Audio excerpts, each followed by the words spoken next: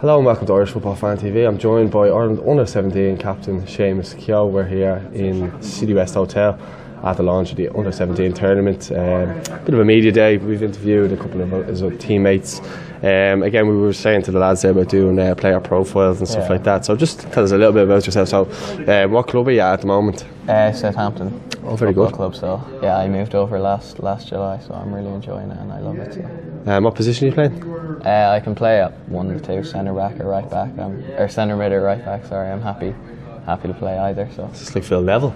yeah, But uh, no, it must, that must give you uh, a lot of confidence going to a club like Southampton, who are known to give a lot of youngsters um, opportunity. yeah, yeah, exactly. Yeah, you can see like with the recent one, Michael Obafemi, he's his path to the first team, so it gives gives everyone at the club great hope really, and we all want to follow in his footsteps and get there. So. Absolutely. You, know, the, you mentioned uh, Michael and obviously Shane Long is there as Yeah. well. Uh, do these lads ever come along and kind of giving you advice or help you, or just even just come along for a general chit chat? Yeah. So I imagine that would help you. Yeah. You know, just on a day to day Yeah, no, basis. two of them are both lovely lads. Like they'll always say hello to you, or how are you, or whatever. So it's great to have to have people like that around the club and stuff. So yeah. we're really happy. Yeah.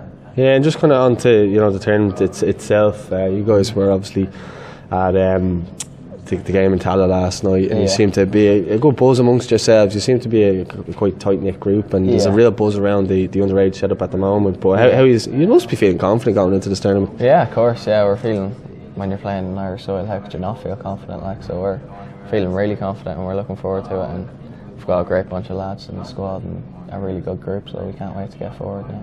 Yeah, I was just saying to Connor there, it's just like the first team to represent on home soil. Like no matter what really happens, even if he's got to as far as the final and even lost, you'll still probably go down as heroes.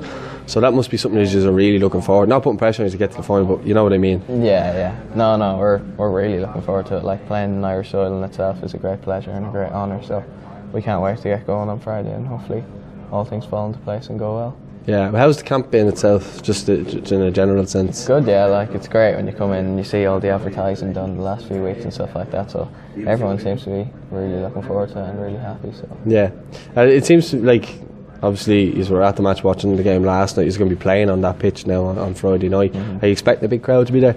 yeah, hopefully, hopefully there's a big number of, of people there so we can really show them what Irish football's all about. Now's your chance to send a message to them to Yeah, come to yeah. the game. Yeah, Make sure you come down to the game. A seven o'clock kickoff, isn't it? yeah. Against Greece. Yeah. We're gonna hammer them. He didn't say that I did. Yeah. But uh, no, you must be you must be buzzing for it. I'd say this rate, you just can't wait to get the first game out of the way, is it? Yeah, exactly. Just Or not out of the way, but to come along and play Yeah, get started and get three points on the board, hopefully. So. Yeah. Have you had any kind of outside influences in regards any like uh, the senior team or anything like that? Just kind of leaving you messages or anything this week? yeah, when we played um, Finland, Mick, Mick McCarthy left us a nice message just wishing us good luck. So that was obviously that's great and it's great to see and great to hear. So, Yeah, and obviously I met you at the Viva with, with John and, and, and Colin. Mm-hmm. Yeah. Did they have anything to say to you, uh, John? I mean, I, I'm sure everything Yeah. he says you, you take on board if yeah. you, you take Yeah, it all no, in. The main, main thing was just enjoy it really. yeah, Enjoy playing football and embrace every moment. Like it's it's a life one in a lifetime opportunity. So just enjoy it really. yeah. I mean, you must take um, like a lot of satisfaction at seeing the likes, you know, when Brian Kerr's team went and, and, and won it previously, mm-hmm. and the players that came through there. I mean. You know, household names, I suppose, with with Robbie Keane, Richie Dunne, Yeah. Andy Reid, John Yeah. O'Shea, just to name a few. Like it- this tournament could be a case for you guys to make a claim to be, to go on, maybe to go on to be one of those players, or Yeah, of course. your own yeah, right. obviously.